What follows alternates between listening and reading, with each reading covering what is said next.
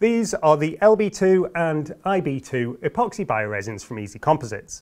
They've been manufactured using a large proportion of plant-derived chemicals, making them a more environmentally friendly alternative to conventional epoxies. The difference between these two is their intended use. So the LB2 is intended for hand laminating applications, and the IB2, being low viscosity, is intended for resin infusions. The general handling and performance of these resins is quite closely aligned to our flagship IN2 and EL2 resins, so in many cases can be used as a direct substitute.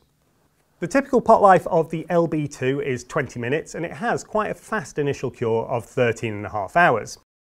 With the IB2, to allow for larger infusions, we've got a longer pot life of nearly one and a half hours and an initial cure time of 35 and a half hours, although from experience I have found you can often safely demold within 24. The actual plant-based content of these resins is amongst the highest in the industry, and on the resin side of the LB2 we have approximately 35% plant-based, and on the IB2 we have 38%. Now you might expect that being plant-based we would be compromising on the performance, but that simply isn't the case. And to explain, I'm going to briefly talk about the chemistry involved. Epoxies are largely a mix of bisphenol and epichlorohydrin.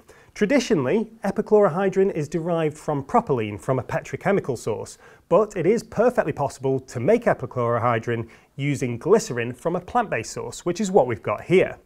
So, as we have the exact same building blocks to create our resin from, there's no reason that it shouldn't perform as well as a conventional epoxy.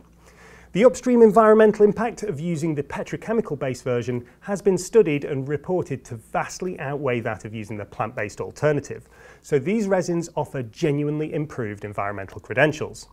As they are uncompromised on performance, it does mean that they're perfectly suited to high performance applications using any reinforcement.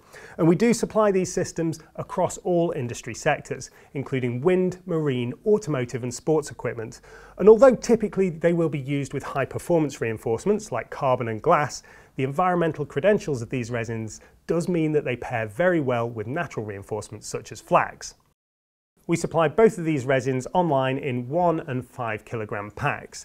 For bulk inquiries over 100 kilos, please get in touch for pricing and shipping options. That covers these bioresins. They are uncompromised in terms of their processability and performance and offer a genuine environmental advantage over traditional systems. So if your production uses epoxy for hand laminating or resin infusion, it's well worth considering giving these planet-friendly options a try.